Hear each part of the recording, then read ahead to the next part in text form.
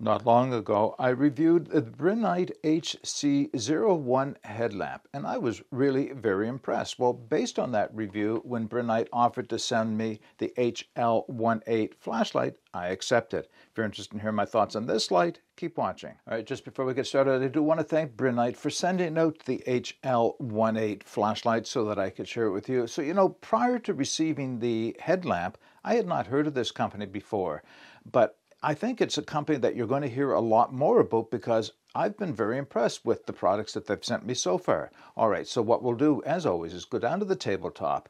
I'll go over the key features, the physical and performance specifications for this light, as well as its modes of operation. Then we'll get it outside and do some demonstrations. Just before we focus in on the light itself, let me share with you what it came with. This is the box the light arrived in.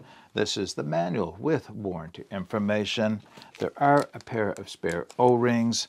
There is a headlamp, headlamp strap and mount that you can convert it, and I'll demonstrate how that works in a few moments' time and a charging cable, but I want to point out it's not your typical USB Type-C charging cable. It is a proprietary magnetic cable, and I'll demonstrate how that works in a moment. Let's bring the flashlight back end, Two more things that are included. One is a 3100 milliamp hour 18650 lithium ion rechargeable battery, and this two-way pocket clip, which can not only be mounted as it is here, but can be flipped and mounted up here for your choice of how you wanted to use it.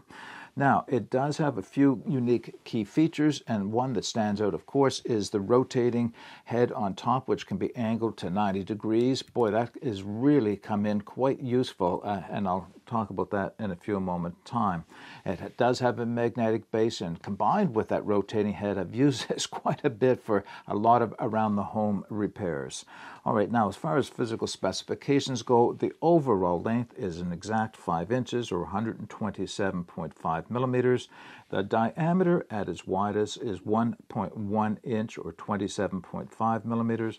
Weight with the battery installed is 4.9 ounces, 138 grams. It is waterproof to an IP66 rating and it has an impact resistance of 1.5 meters far as the performance specifications go for the HL18, it has a turbo of 1600 lumens, but that's only going to last for one minute before the heat protection circuitry knocks it down to 420 minutes, but that's going to last another two hours and five minutes. Now, it has a high setting of 620 lumens, lasting for three hours and five minutes.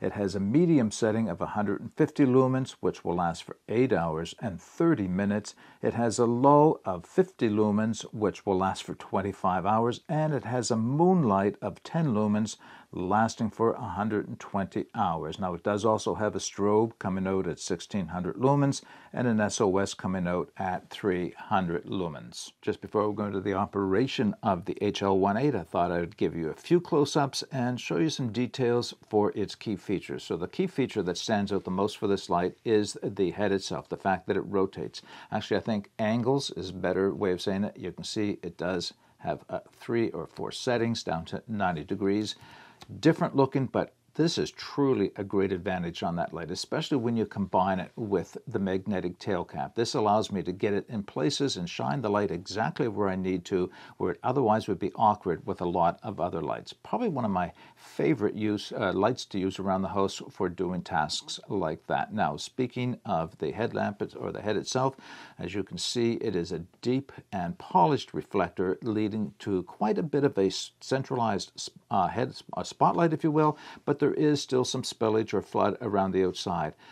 Attractive blue anodization around the edge, and that's carried over to the on-off button, which of course is quite easy to find. That's a feature I look for in lights now is how easy is it to you for you to find the on off button without looking at the light. And this one is quite easy. Now the only place you're going to confuse it with maybe is the charging port, but very quickly you you get that tactile feel for which one is which and there you go. It's easy. It drops into my hand pretty much the same every time. Now, as far as the charging port goes itself, let me give you a close up of this and then I'll bring the cable in itself. So you can see that the cable has a small protrusion in the center between the magnet and that protrusion, they lock on and you're ready to charge the light. Last thing I'll show you is the two-way pocket clip.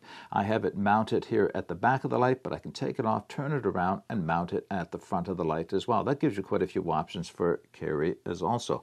Last thing I can show you, of course, when I speak of mounting, is the headlamp strap and mount. So they did come separate, easy enough to feed or thread that onto the strap. By the way, the strap is got quite a bit of stretch, but it also has quite a bit of adjustment, which means it's comfortable even on my XL size head, but also I can wear this around a toque or a beanie and still have enough strap. I think that's nice. Not every light comes like that. Now, to install this, you can see the magnet working on the cable. Uh, to install the light, decide which way you want the on-off button to go. For me, I like it to have be facing up and to the right, and then I can just click it into the mount. There we go. Now, in order to use it, just rotate the head forward, and now the whole mount moves into the position you want it. So a lot of variations there. And then, of course, I have my on-off button setting on top.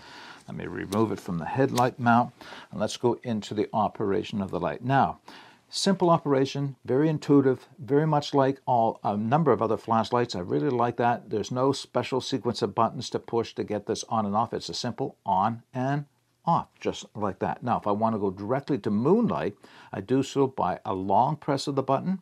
There you are, moonlight at 10 lumens and off again. It does have memory for whatever it was before that, so that's nice to know as well.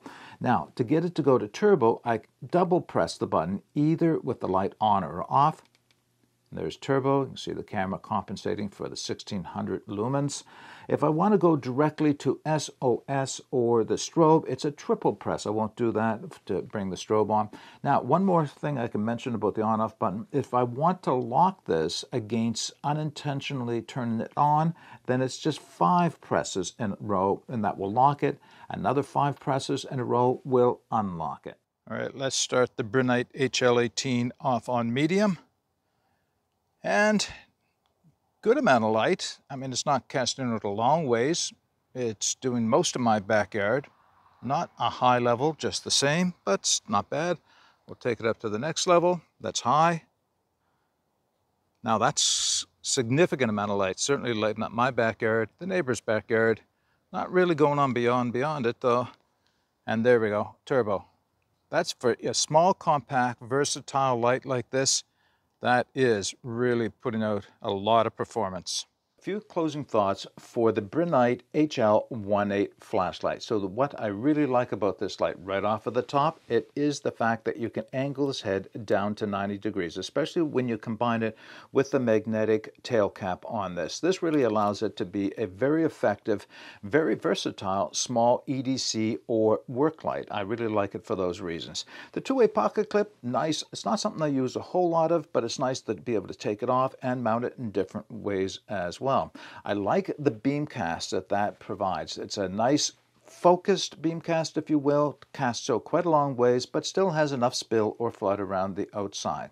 Now, those are the things I really like about it. There's one thing I'm not too crazy about, and that is the proprietary charging port on the side, the magnetic charging port. The reason I'm not a fan of those is, well, if I lose my cable, then I have to remove the battery from the light and put it in some type of a battery charger. I just find that, uh, you know what, why not just stay with the tried and true, the more common USB Type C charging ports? Now, it's not the end of the world. We can always charge our batteries like we did before they had charging ports on the side, but it just would be nice if this had that charging port. Now, more often than not, when a company adds this type of a charging port to a flashlight, it is to help keep its waterproofness. So they tend to be a lot more waterproof than a USB Type C, which has to have the little rubber thing lifted before you can put the cable cable in. Well, I don't know that it added that value to this light. I mean, it comes in an IP66 waterproof, dustproof rating, so it didn't achieve IP68, the higher rating that you might look for in a flashlight like this. So again, I don't see the advantage to having that on this light. But again, not a deal breaker, just something to be aware of. Okay, that's all I have to share with you on the Brinyte HL18 flashlight. I'll be putting all the specifications in the video description as well as the links to where you can take another look at this light. If you have any comments or any questions about the light, put those in the comments section below. But until next time, get out and explore and take that path less because it will make all the difference. Bye for now.